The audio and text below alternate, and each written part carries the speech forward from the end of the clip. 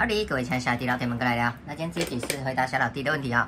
小老弟在希望我开箱这个苹果最新的这个四十九公里的钛金属米兰的表带哦，六千一百块哦，再生的这个钛金属。然后它的特色其实是它的后面呢是有一个多一个这个扣子啦。其实苹果之前这个米兰的本来就有了，那它这一次出来的是多一个这个扣子，好。好，那我先来讲说，呃，因为小老弟说看我能不能开箱来评测这一条好不好啊？那那但是他现在如果买的话哈，他要十一月才会寄得到啊。那十一月就大概一一个月，现在已经九月底算十月啊，一个月这样太久了。我是觉得的会花体啊，但是 我以前有用过这个米兰的一款，它是这个呃磁吸的哦，就是我用给各位看哦，是这一款呐，有一个磁吸的。那我今天来跟各位讲说。呃，你今天会问说这个好不好？就是你，你应该是在觉得说这个要不要买嘛？那我来跟你分析说，我现在用了这些表带，呃，我的一些意见跟看法啦。首先就是说，呃，这种金属的表带哈，我现在手中留下来的，即使这些我之前比如说那种很多的类型的我都丢掉了啊，或者是卖人的，或者是送人的，我现在就是只留下一个塑胶的，然后一个金属的，金属的这个是原厂它比较贵的，一万多块的这个。一片一片的这个可拆式的这个表带哈，这个不锈钢的哈。那另外一款是这个海洋，这个就是塑料的，这个就是运动的时候水洗什么随便胡搞瞎搞的。那这一款我是买来是当很有质感的。那你今天问说，呃，这一款买好不好？我觉得它刚好是介于这两个中间。如果你今天呢，你带这一款的话，我是觉得它的质感会没有这个好，因为它这个一点一点的哦，你其实看过去。它不会像这种金属的戴下去，看起来视觉是比较，呃，我是觉得这种金属这样看过去比较夸张，很明显。那它这样子就是一点一点的，你可能要稍微近看一点，你才知道它的是金属。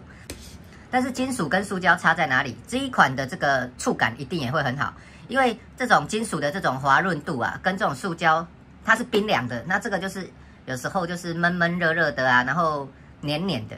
所以这个会比这个触感好，所以这一款的这个一定触感很好，好。那它现在的差异就是多了这个扣子啊，这个扣子我展示，我有录一段给各位看，国外的 YouTuber 他们在用，它就是一个扣子多一个扣子，然后呢，它等于是说，呃，套上去了以后，它帮你这样子再扣上，哦，其实就是说它其实多了一个保障，因为以前的这种就是我们虽然它是很强的磁铁，可是有时候你在动或一些什么，你如果勾到或推到。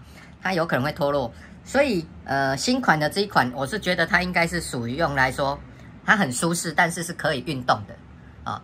所以你在问说这一款好不好？我是觉得，如果你想要有金属的触感，又想要运动的，那它这个有锁起来的话，你在运动的时候，在跑步或干嘛，它比较不会脱落。另外，米兰的好处跟这个不锈钢这一条的呃差异在说，它这个有一个一个洞，所以。它的排气呀，或者是说它的通风，又会比这一款大片的好。好，意思就是说，如果以说舒服的，再更舒服的话，这个应该是很凉，应该是通风更好。另外，像呃原厂的这一款不锈钢的，它有可能我在运动过程中，它会夹到毛，就是我们手会有毛，它会因为这个转折会夹住，所以有时候你在穿戴或一些什么夹到毛会差点摸，会不舒服。还有就是说，你看它这个大面积，虽然你远看很霸气。可是近看很容易有刮伤，那你如果用米兰这一款，它就不会刮伤啊。但是现在有一个问题是在于说，虽然它这扣的紧，我是觉得它的方便性没有这一个方便的，这个直接这样磁吸下来，好，其实这个是比较方便的。我看国外在用这个扣子的时候，在那边穿戴，好像还要调整一下，会不会？这个会稍微再麻烦一点点哦，毕竟直接磁吸上去，跟你还要再多一个扣子有差嘛。不过它是因为要做运动型的，所以这一条我是把它定义成说运动型又金属的表带。好，那这一款呢，其实它也是可以运动了，但是就是会夹到毛以外，这个太大片了，很容易刮伤了。这一款我都是用在比较好的场合，所以这个值不值得买？我是觉得还是可以的，因为苹果的品质都是很好。不过它也买的话，十一月才会到啊，我看看之后会不会会不会入手了。但是我现在因为呃我不想要买那么多表带，我以前买了快快一两百条。然后都弄到后来，我说留几条比较好的。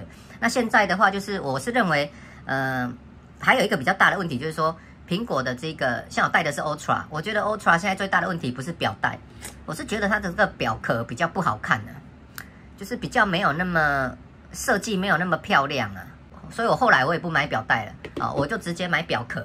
所以我的这个表壳是比原来的好看的，装下去就很大一个，像国外的一些那种潮流的很大的这种品牌的这种很大的框啊，然后它就是有附这个，你们上来就可以去看啦。所以我是直接就是买表壳了，我买表壳来加它这种塑料的表带，我可以运动又多一层防护哦。这个也不锈钢拉丝的，所以就是呃，我可能我不知道会不会入手这一条啊。可是我如果要入手，我这边其实有两款，我这个用来运动的，这个用来。质感型的，那这一条应该是介于中间。如果你今天你都没有这些表带，我建议这一条买下去就是省掉了这两款。好啊，如果你今天已经有这种了，我是觉得替换表带就好了。